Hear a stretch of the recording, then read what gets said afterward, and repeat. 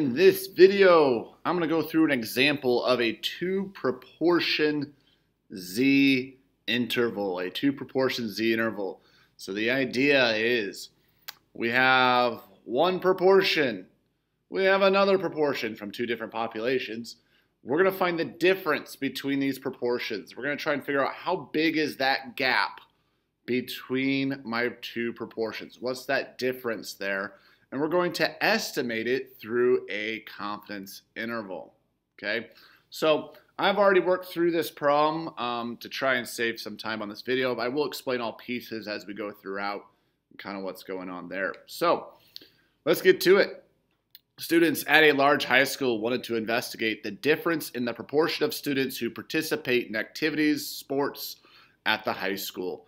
A simple random sample of 130 seniors was taken, and 73 indicated that they participate in activities in sports. While a simple random sample of 100 juniors was taken, and 51 indicated that they participate in activities in sports.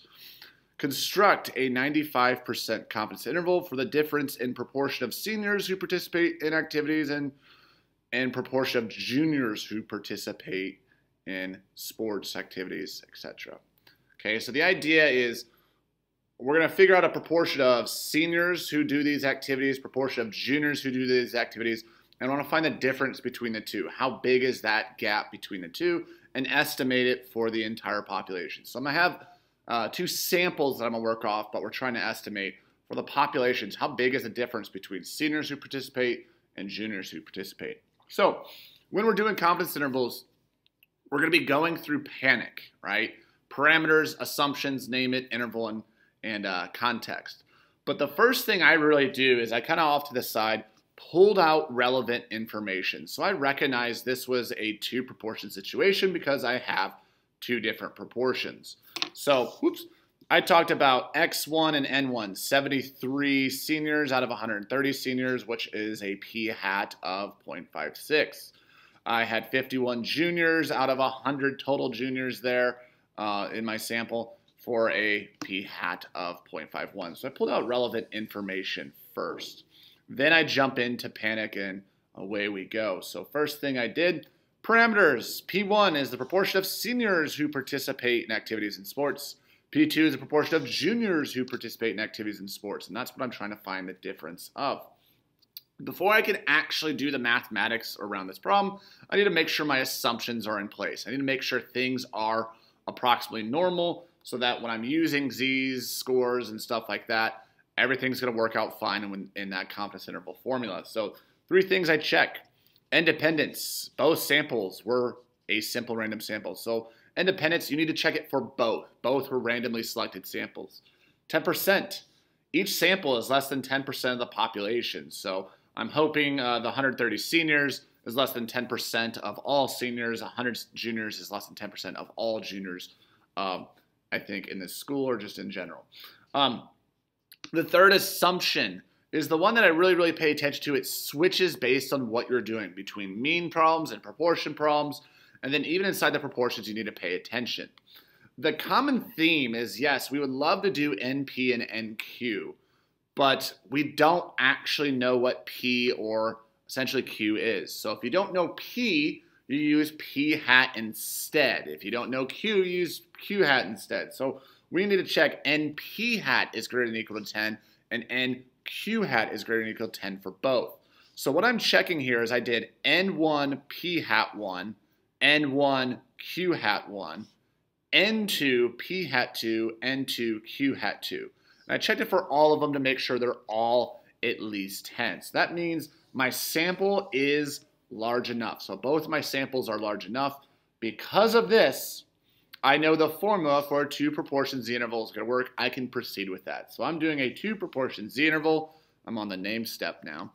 Um, I am doing seniors minus juniors. So I'm taking the seniors minus the juniors and finding and estimating what is that difference. You know, what's the difference in proportion there. So my formula here, I've talked about it in prior videos.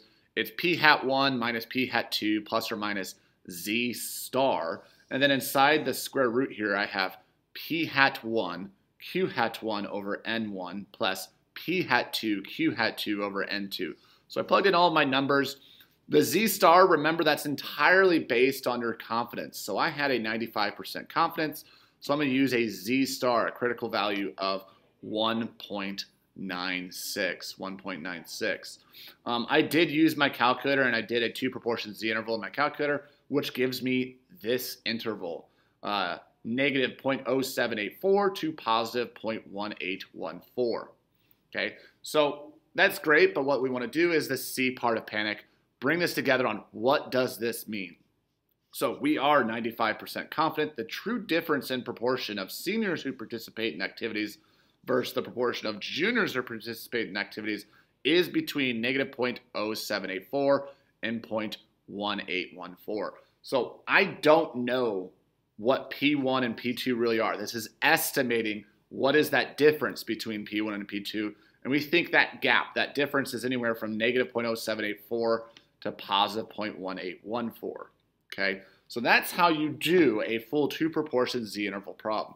Now, this particular problem has a kind of interesting scenario that pops up that I do want to talk about. With this interval, we do go from negative to positive. I just want to talk about what that means.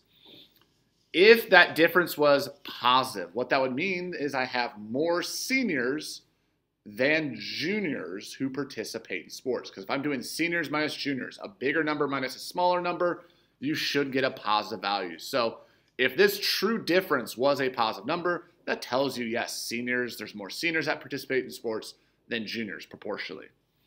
If it's negative, think about what that means. That means if I'm doing seniors minus juniors to get a negative number, that would mean my seniors is smaller than the number or proportion my juniors that is doing it. So I'm taking a small senior number, subtracting a large proportion of juniors. That's how you would end up with a negative number. And finally, what's included in this interval, and it's kind of uh, an interesting observation, is zero is in there. And think about if I'm finding the difference between seniors and juniors, how could you possibly end up with zero? The only way that would happen is if the proportion of seniors is equal to the proportion of juniors, so that when you subtract them, yes, you would get zero.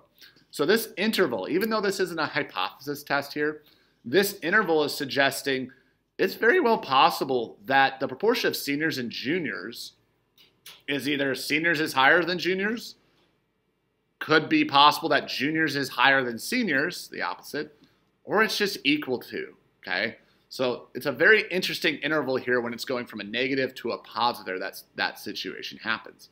If this interval is entirely positive, then you know for sure seniors is definitely larger than juniors. So just a little side conversation on what this specific example kind of resulted in.